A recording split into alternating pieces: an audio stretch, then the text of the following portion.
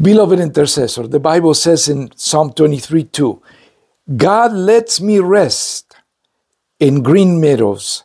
He leads me beside peaceful streams. This is something we definitely enjoy. I learned this psalm when I was about six years old, more than half a century ago, way more. And it's still in my heart and in my mind because it talks about the rest for the Christians, for the believers. But we can promise this if the prodigals come to the guidance of the Lord and they accept God as the shepherd, they will have tremendous psychological, emotional, spiritual, even physical rest. He leads me beside peaceful streams. There will be serenity. There will be a, a lack of anxiety and a tremendous peace in their hearts.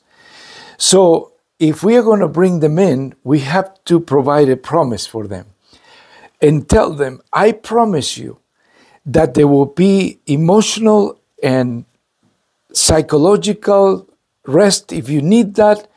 Any kind of rest you need, the Lord will provide for you. Come back. They know the gospel. They probably know this psalm by memory those who used to be Christians and then they left the faith. So go to them full of faith.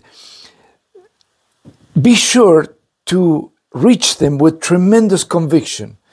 You must exert a, a sense of confidence so that they are contagiated by your faith. They say, I cannot believe this person believes in me.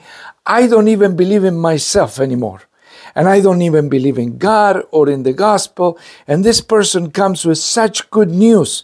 Your enthusiasm, your faith, your sense of confidence will make an impact in their hearts. God bless you.